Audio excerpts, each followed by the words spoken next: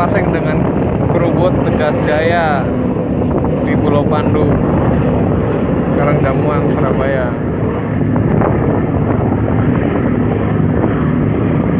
Dia dari arah Gresik.